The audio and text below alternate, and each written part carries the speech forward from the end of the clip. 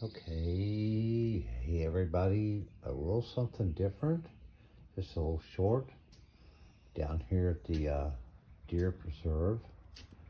It's a uh, Wednesday evening, and we're going to see if we can sneak out here and see the kids while they're doing their thing. Yeah, I know it's not wrenching, but you know, life's not always about wrenching. Sometimes it's about enjoying what you got. God has graced us with the presence of some incredible wildlife. Yeah, we feed them. It's cheaper than buying more ornamental plants because they are like you put out a bunch of plants, it's salad bar, golden corral,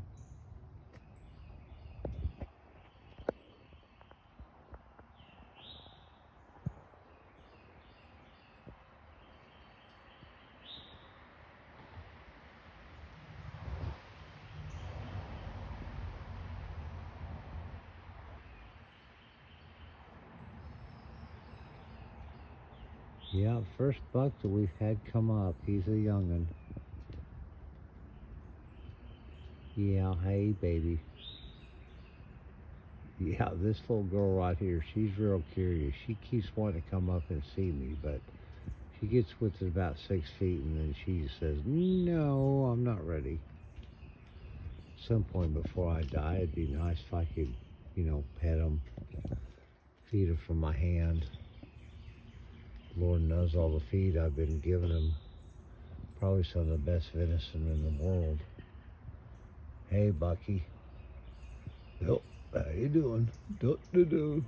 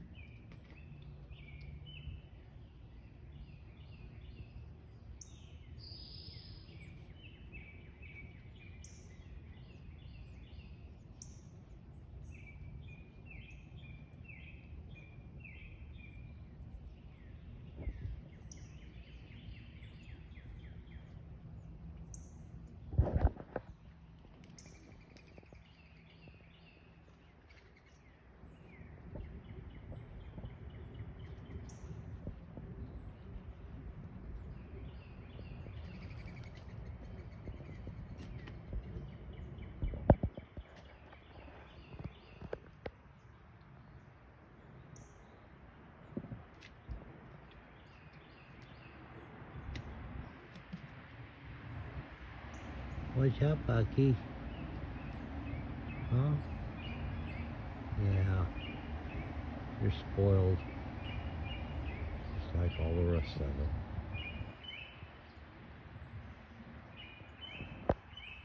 Hi, sweetie.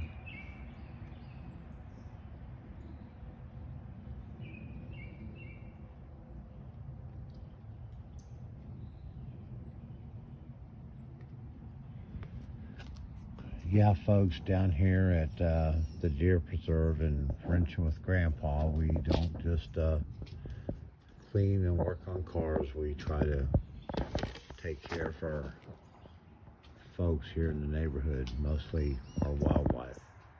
So this was just kind of a quick interlude. We've got parts that have started showing up for the brake system. And so hopefully come this weekend we can do a big reveal uh, box opening and we can start getting a game plan together to get all of the old stuff ripped out. Master cylinders lines connectors everything and start rebuilding the wheels the road uh, drums the pad everything all the parts are on the way So, uh, hopefully, the next few videos are going to be more wrenching and me grunting and grinding, and you guys getting to see us actually moving forward on some of the more important stuff here. So, stay tuned. Thank you guys. Uh, thumbs up if you like the content, comments, and everything. Always appreciated. So please subscribe if you're not, because I just like to know you're out there and you appreciate what we're trying to do. So, let's see if these old kids are back out in the backyard again. Yep. You know, it's pathetic. I've got a lab who's like 15 years old. He's spoiled rotten.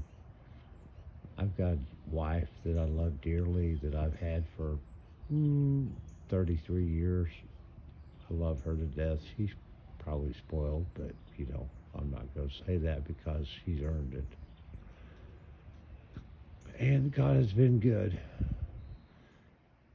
You know, sitting out here on the back patio in the evening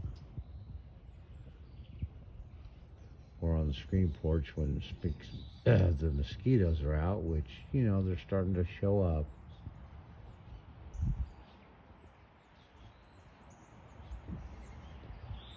Having a place called home like this beats the hell out of therapy and living in an apartment in downtown. Hey, listen, y'all take care. God's blessings. We'll see you soon. Bye bye.